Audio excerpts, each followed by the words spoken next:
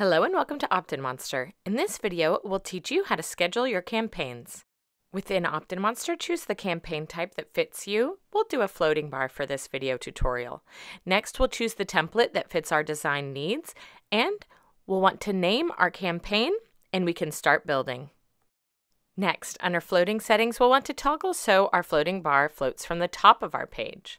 Next, in the drag and drop builder, we'll make any design changes we need to make, such as changing images, fonts, text, background colors, and so much more.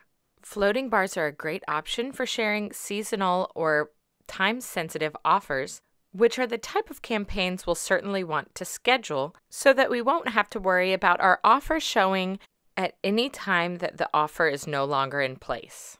So in display rules, we'll want to click on the current date is on or before the day that your offer ends. You can also schedule campaigns based on the current time, current day, and the current month. Next, in the summary, you can confirm that you scheduled your campaign correctly. And you'll want to go to the Integrations tab to make sure your email marketing service provider is integrated with your OptinMonster campaign so you can capture leads generated by your campaign.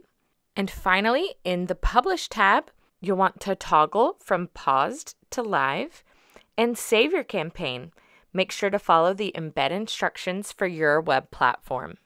And you've successfully scheduled your campaign, so it will only show when your offer is in place. If you have any questions, please look through our helpful documentation. And for further assistance, you can always submit a support ticket and we'll be more than happy to help.